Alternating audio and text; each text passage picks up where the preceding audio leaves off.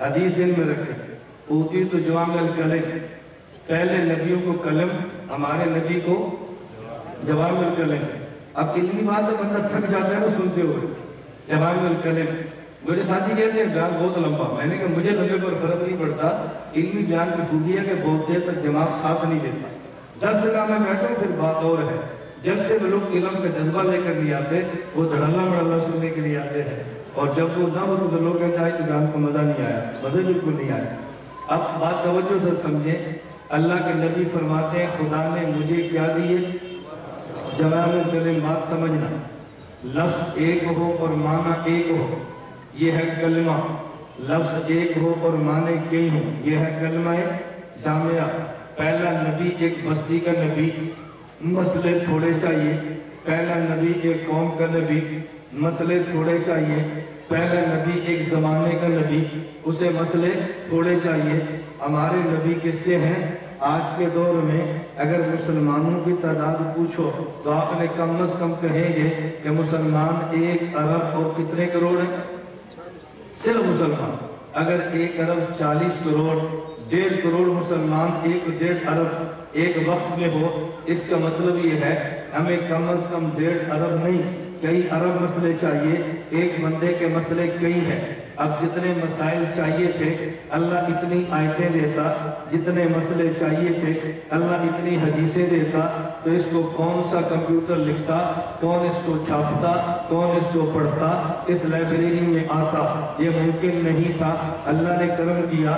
ہمارے پیغمبر کو قرآنی آیات پونے سات ہزار دی ہیں ہمارے پیغمبر کو حدیث پچاس ہزار دی ہیں ایک قول چار ہزار کا ہے، ایک دس ہزار کا ہے، ایک پچاس کا ہے تدریب الراوی اس کے اوپر کوئی قول نہیں ہے۔ پچاس ہزار حدیثوں کا مطلب آپ کہو گے امام بخاری کتنے لاکھ کے حافظ، امام احمد کتنے لاکھ کے حافظ یحییٰ بن مدینی اتنے لاکھ کے حافظ یہ کہتا ہے پچاس ہزار۔ پچاس ہزار کا مطلب یہ ہے، اللہ کے نبی جو بات فرمائیں یا کریں، اسے مطل کہتے ہیں اور اس کو جو نقل کریں، اسے راوی کہتے ہیں۔ اللہ کے نبی نے موضع پر مسا فرمایا، یہ حدیث ایک ہے۔ نقل ستر صحابہ نے کیا، تو محدث کہتے ہیں، موضع پر مسا کی حدیث ستر ہے۔ مطل کو دیکھیں، پچاس ہزار ہیں۔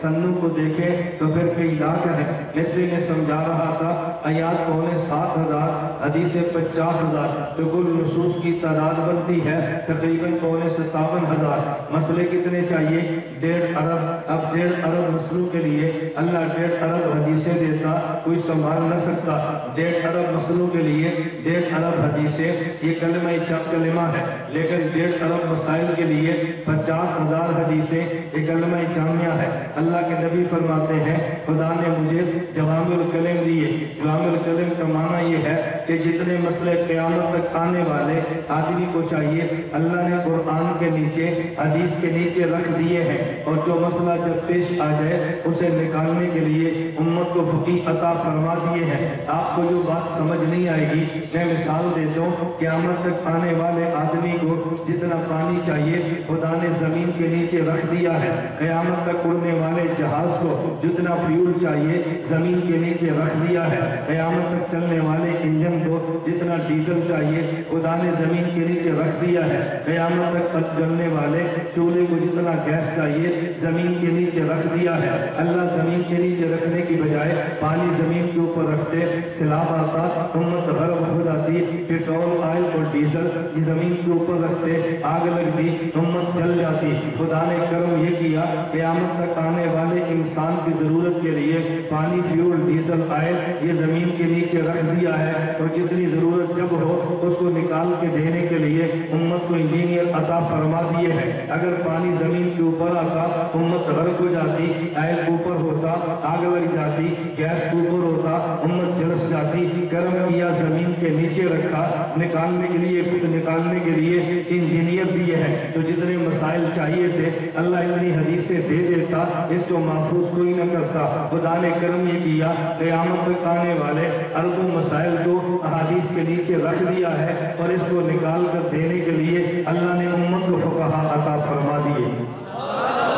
اگر انجینئر نہ ہو، زمین سے پانی نہیں نکلتا، انجینئر نہ ہو، زمین سے پیٹرول نہیں نکلتا، اگر فقی نہ ہو تو حدیث سے مسئلہ نہیں نکلتا۔ تو انجینئر چاہیے زمین سے زمین سے فوائد حاصل کرنے کے لیے اور فقی چاہیے حدیث سے مسئلے نکالنے کے لیے۔ یہ بات تو سمجھ آ گئی کہ فقی چاہیے صرف قرآن کافی نہیں، حدیث کافی نہیں۔ اگر فقی نہ ہو، قیامت تک آنے والے مسئلے نکل سکتے ہی نہیں ہیں۔ اگر تمہیں سمجھ نہ آئے تو پھر میں ایک مثال دیتا ہوں، جس سے آپ کو بات جلدی سمجھ آئے۔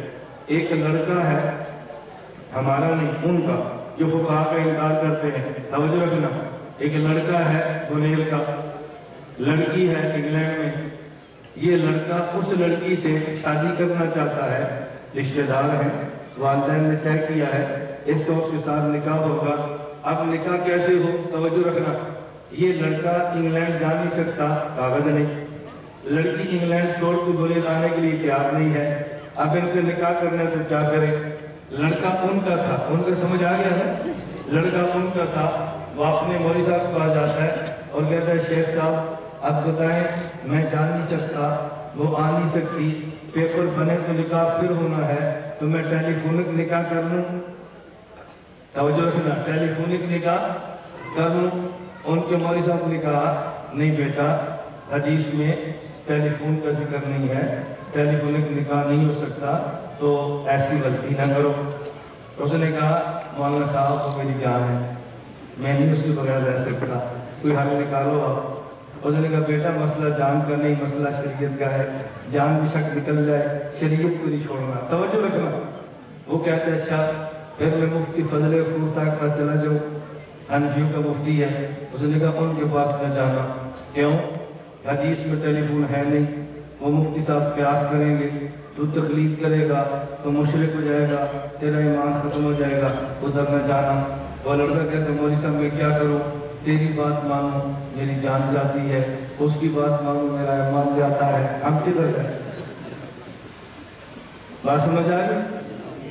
تیری مانو تو میری جان جاتی ہے، سمجھ آ رہی ہے، جان جاتی ہے، تم سب سمجھتے ہو ہم سکولوں کالج میں پڑھ کے مولوی بنے تھے ہم نے نہیں سمجھتے آپ سمجھتے مول صاحب کی داڑھی کچھ نہیں سمجھتا سب سمجھتے ہماری شادی نہیں ہوتی ہماری تین چار بیوی ہم کیوں نہیں سمجھتے بھائی ہماری شادی ہمارا شادی حال ہے اس لیے ہم بہت اچھی طرح سمجھتے بات سمجھ آ رہی ہے یہ شادی آ رہی عزیز الرحمان ہزاری صاحب کا مبارک اللہ سے اس لیے میں نظر کرتا ہوں میں عرض کر رہا تھا اب وہ آ گیا مفتی صاحب کے پاس لوگ آتے نہیں جب پھنس ہے تو پھر آتے ہیں ویسے نہیں آتے پھنس ہے تو پھر آ جاتے ہیں۔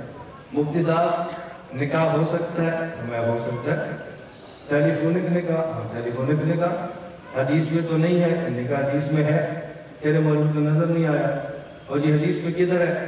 اب اس کا بیٹا تو بتا، اگر وہ لڑکی منیر آ جائے، تو جب تیرا نکاح ہوگا، وہ مجلس میں بیٹھے گی۔ کہا جی نہیں۔ مجلس میں کون بیٹھے گا؟ اس کا وکیل۔ ایسے ہی ہوتا ہے نا؟ اللہ کے نبی کے دور میں بھی نکاح ہوتا تو لڑکی تو مجلس میں نہیں آتی کون آتا تھا؟ وکیل۔ مسلم فرمایا کہ وکیل نے آنا، لڑکی نے تو نہیں آنا۔ اب مسئلہ صرف یہ کہ وکیل بنانا کیسے وکیل بنانا کیسے ہے؟ اللہ کے نبی کے دور میں خط تھا۔ اللہ کے نبی کے دور میں آپ نے خط لکھے ہیں، والا نامے لکھے ہیں، مبارک قدود لکھے ہیں۔ حدود کے دور میں خط تھا۔ جسے خط کہتے ہیں نا ہم عربی میں کہتے ہیں الرسالہ انگلش میں کہتے ہیں میسج۔ ایسے ہی آپ کے اگر موبائل میں عربی لکھی ہے تو کیا ہوگا؟ الرسالہ اور اگر انگلش لکھے تو پھر کیا آئے گا؟ میسج۔ اس کو کہتے کیا ہے خط۔ انہوں نے کہا بھی اس دور میں بھی میسج خط تھا، آج کے دور میں بھی ہے۔ اس کے دور میں وکیل آتا تھا، آج بھی وکیل آنے اس طرح کرو، وہاں سے اس لڑکی سے کہہ دو، وہ ٹیلی فون پہ میسج دے۔ تو ٹھیک ہے۔